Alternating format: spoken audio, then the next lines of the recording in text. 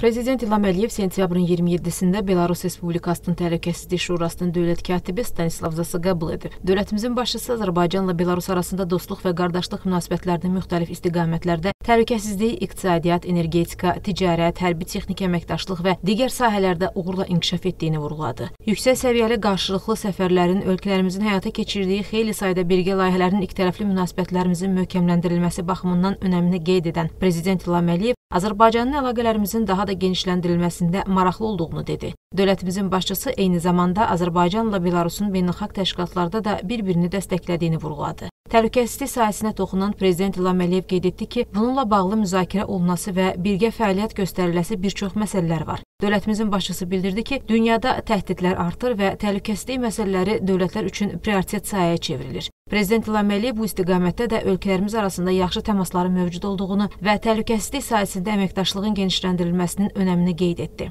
Dövlət katibi Stanislav Zas Belarus Respublikasının prezidenti Aleksandr Lukashenkonun salamlarını və ən xoş arzularını dövlətimizin başçısına çatdırdı. O bildirdi ki, Belarus tərəfi Azərbaycan prezidentinin ölkələrimiz və xalqlarımız arasında əlaqələrin möhkəmləndirilməsi işinə göstərdiyi diqqəti yüksək qiymətləndirir və Belarus prezidenti bununla bağlı öz minnətdarlığını çatdırır. Stanislav Zas ikitərəfli münasibətlərimizin bütün sahələrdə uğurla inkişaf etdiyini dedi. O, görülən işlərin nəticəsi olaraq Azərbaycanla Belarus arasında ticarət dövriyyəsinin 10% artdığını vurğuladı. Belaruslu qonaq qeyd etdi ki, ölkəsində Azərbaycan prezidentinin səfərini səbirsizliklə gözləyirlər. Dövlətimizin başçısı Belarus Respublikasının prezidenti Aleksandr Lukashenkonun salamlarına görə minnətdarlığını bildirdi. Onun da salamlarını Belarus prezidentinə çatdırmağı xahiş etdi.